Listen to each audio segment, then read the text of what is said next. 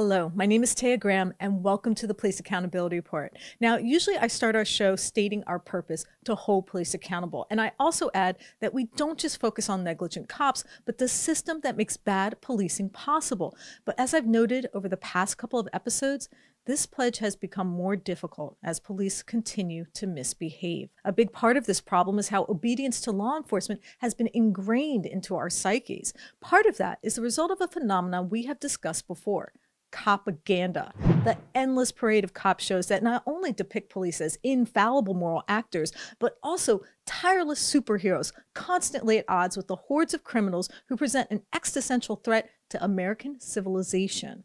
But another facet of this drumbeat of propaganda is how sometimes the media and law enforcement collaborate behind the scenes to entrap or incriminate citizens engaged in dissent.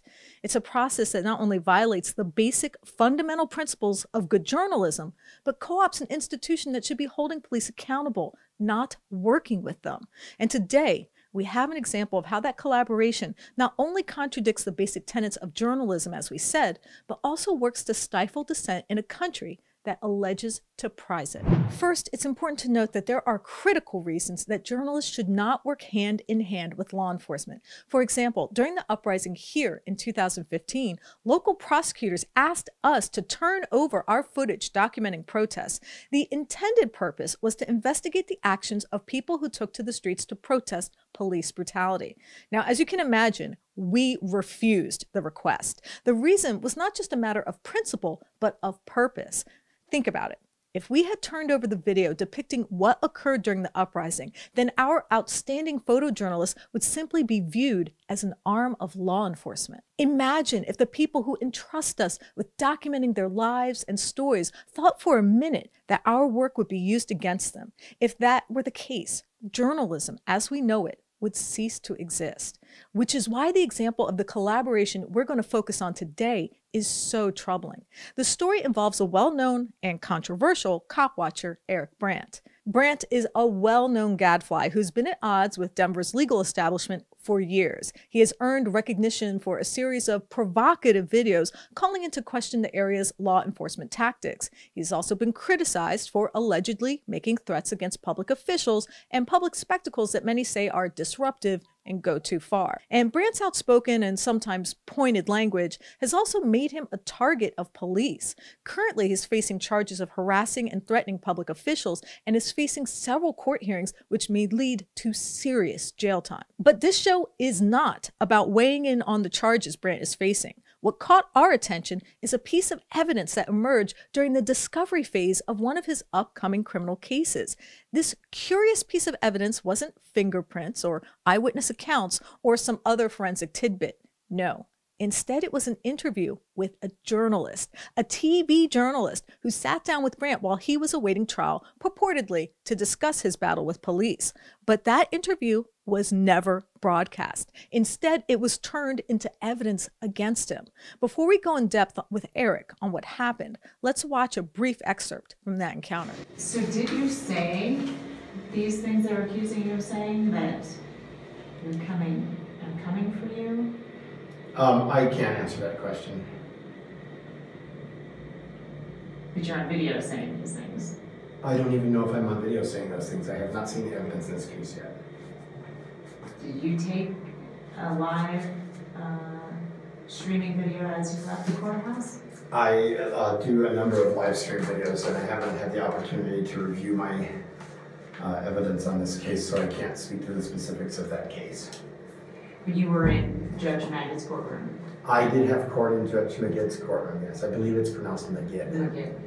And do you have an issue with her or how she handled your case?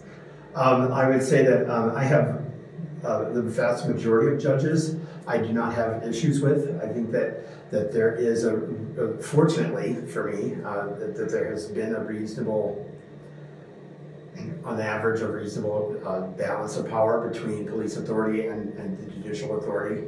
Uh, there are a small number of judges that, uh, in my experience or observation or studying, I do study judges. Uh, there are a handful of judges that, in my opinion, are performing substantially under par. Now, after we reviewed the interview, we wanted to ask the Fox affiliate and the reporter who conducted it why it wasn't aired, and why it ended up in a criminal case as evidence. To answer those questions, I'm joined by my reporting partner, Stephen Janis. Stephen, thank you for joining us. Taya, thanks for having me. I appreciate it. Now, you've reached out both to the reporter and the television station.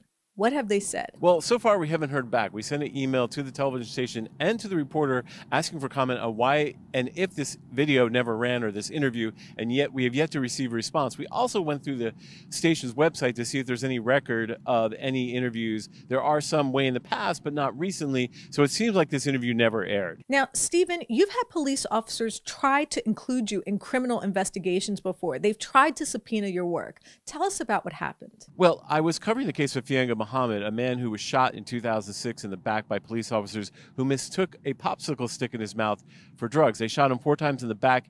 He survived, and I wrote several investigative pieces revealing some inconsistency in the police testimony. And I was subpoenaed to testify in court against him by the police department. I refused to show up, and we refused to honor this subpoena. I was never indicted for that, but the threat was looming over me for a long time. So it just shows you that police will use the power of the court to try to get the uh, media to cooperate in criminal investigations. So, just recently, you came in possession of a document that actually reveals how problematic the collaboration between police and media is.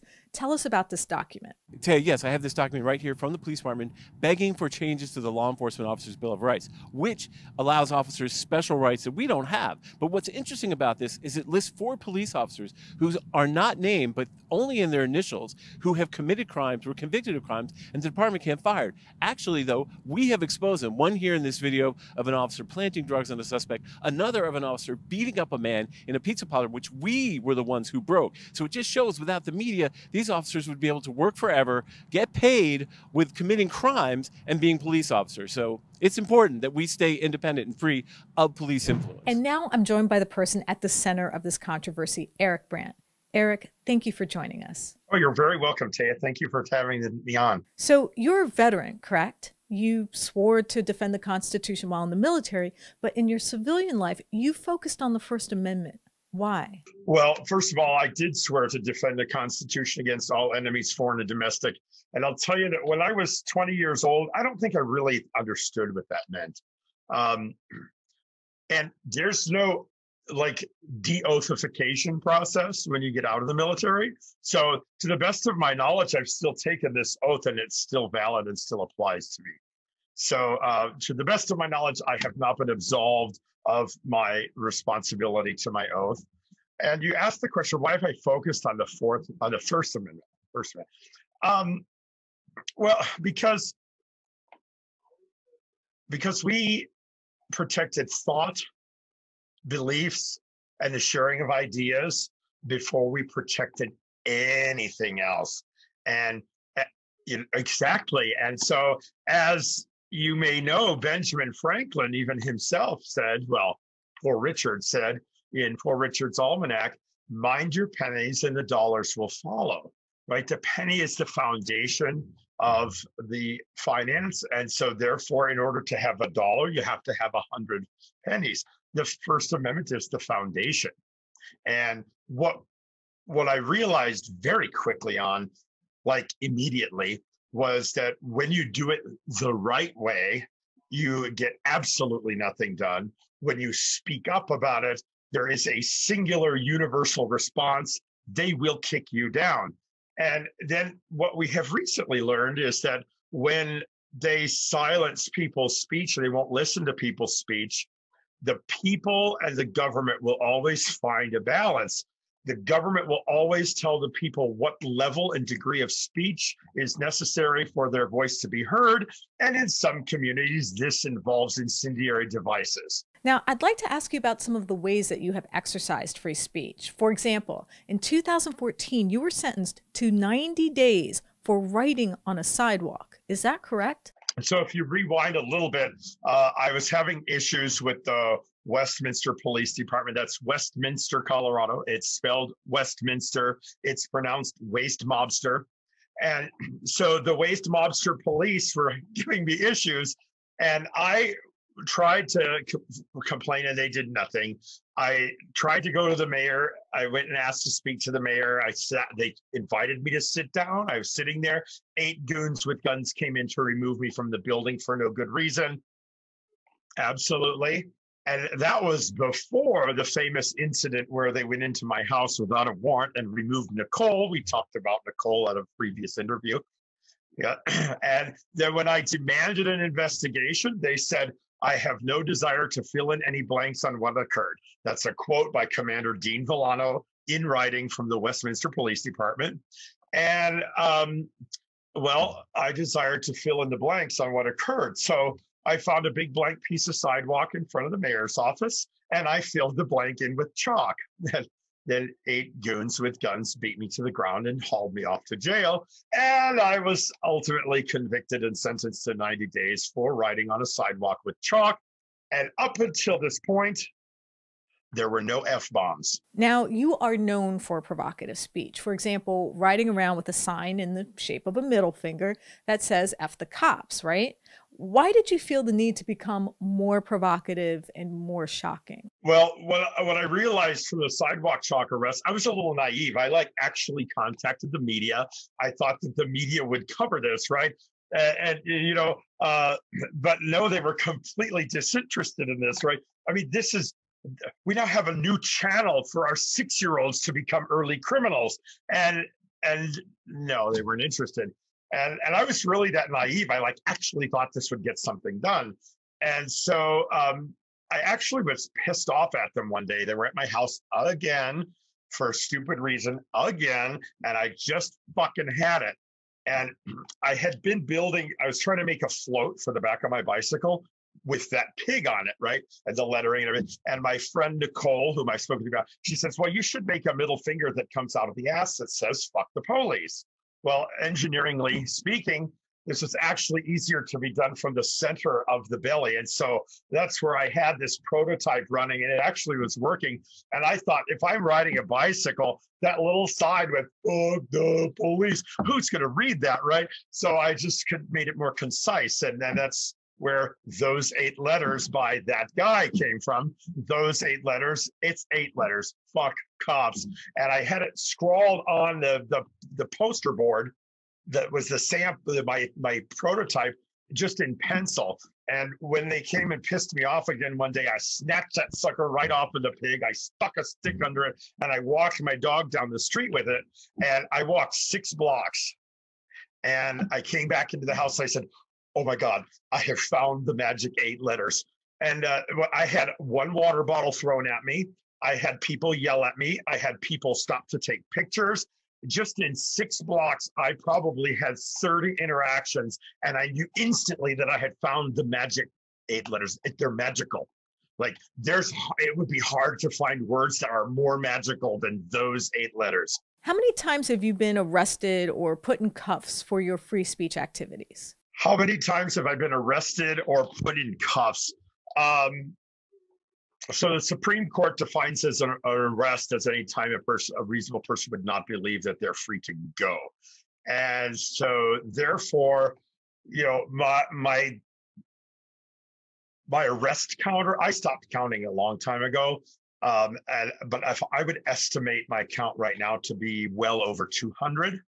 I have been hauled off to jail probably 70 times. So, we've seen a recent video from an interview with a Fox 31 news reporter.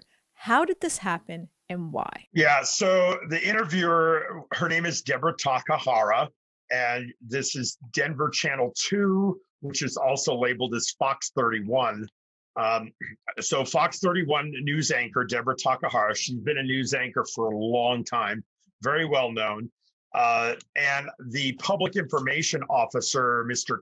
Kaplan, I believe is his name, came to the pod and said, Hey, uh, this would be back in February, shortly after my, my triple arrests, um, the, the triple felony arrests for saying mean things, supposedly, allegedly, about judges. But um, he said, Fox 31 would like to interview you are you interested in allowing the interview? And I said, sure. Yeah. So um, they set a time, and it was a few hours later then that that Fox 31 was there, and they brought me to a different building and put me upstairs. They have rooms for attorneys. And some of them are just through the glass, and some of them have a table. So this is one of those rooms with a table, um, right next to the control tower up on the sixth floor. And uh, Deborah Takahara and Mr. Taplin and her cameraman were already in the room when I came in there. And so Taplin is the public information officer. Were you at all surprised that they allowed this interview while you were in jail? I was immediately suspicious.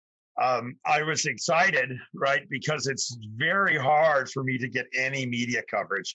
and for some reason, they don't like the message. And, uh, you know, if I had been talking and promoting puppies and kittens, then I know I would have been on there because we see puppies and kittens on Fox 31 all the time. But if you want to talk about what's really going on, they just really can't handle the truth. So uh, I thought that was a little surprising. I was I was excited about it, and but I was immediately trepidatious. Uh, one because anything I say can and certainly will be used against me, uh, and two because you know that it's such a dangerous charge that I've been given. So uh, so I was very trepidatious, and I'm glad that I had a, a little bit of time to think about things so that when I went in there, I wouldn't be completely cold. But this is not the first time you've been accused of threatening a judge. No, it's not. Um, and, and if you do look at my actual track record, uh, I have had something like 26 charges dismissed in the last two months alone. Do you know why it didn't air? So I have no idea why it didn't go on the air. I certainly told all my supporters in the area, hey, let me know if this goes on. She interviewed me. Let's see if it goes on. She never contacted me back. They never saw the interview. They, we've checked online. They've never published it. So I don't know why it was never published, but I I certainly can speculate as to why. One, I wasn't ah, crazy, right? So I think that they were expecting this crazy story from this crazy guy, and oh my God, he wants to kill everybody. And she didn't get that story, right? She got an articulate, intelligent, educated, well thought person. And and so I think that that made it somewhat not sensational enough to publish. Because uh, I think that the, the the public has this image of the fuck the cops guy, and the mainstream image of that is not what portrayed there. And I think that had she published that, then they might have been you know, saying, "Oh, hey, maybe this guy's not so bad," and and like shift people towards my side. Um, also, I'm not sure that she ever legitimately, genuinely intended to publish it. The the media has avoided me like the plague right? Like they blur me out of videos that I'm in the background in. I have had channel two people in the past say, Hey, we've been trying to get you covered, but our producer won't let us and uh, they've been told absolutely not. So my media coverage has been practically nil, and yet I'm more well recognized than the mayor. So no, I'm not convinced that she intended to put me on the media. Um, I am. In my mind, I'm convinced that it was an attempt by law enforcement to circumvent the protections of my attorney. Now, I, I, have to ask this. People have alleged that you have threatened public officials, that you offered thoughts and prayers that a specific public official received violence. How do you respond to this? So I have I have to respond to that by uh, by remaining silent on that question because it speaks at a fundamental, essential element to an upcoming criminal prosecution. So unfortunately, I must reciprocate the the respect that with all due respect, I'm not able to clarify that question for you, and I'll have to allow the existing public record to speak for itself. The point of this show is not to adjudicate the charges against Mr. Brandt, nor is it to simply criticize the media for playing a role against him or any other citizen who engages in dissent. The idea is to illuminate just how much policing relies on the rhetorical embrace of media to make its case for its exceptional powers conferred upon it. As you may have noticed in the parlance of police rhetoric, legitimate criticism is often framed as being against the police. In fact, any attempt to hold cops accountable is viewed as an assault upon the institution itself. In other words, policing through an endless parade of cop shows has watered down the notion of accountability to the anti democratic theory that you are either for us or against us with no middle ground. And let's recognize that this all or nothing rhetorical posturing is not an invention of the people, but rather a construct fully fashioned by an industry which thrives on fear as a recipe for dominance. Just imagine if your public works department or city council made the same argument. Imagine if they conjured up enemies and fictive mortal threats to berate you into obedience.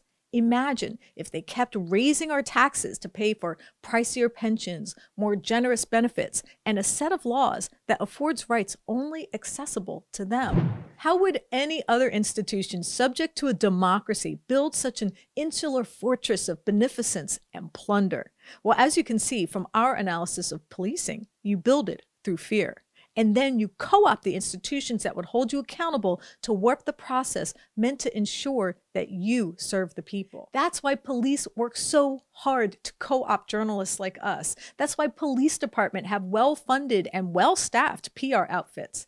That's why the police make the choice between support and criticism no choice at all.